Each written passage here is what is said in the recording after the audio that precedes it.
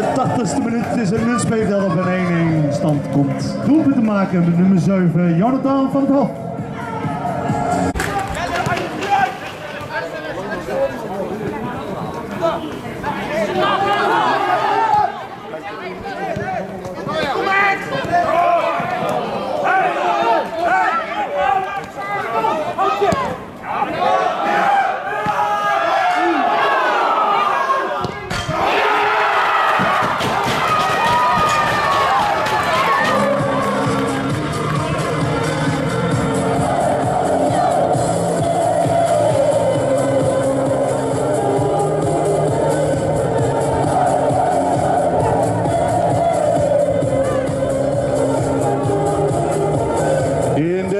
80e minuut maak Nunspeet 2-1. Doelpunt te maken nummer 6, Dominique van der Recht.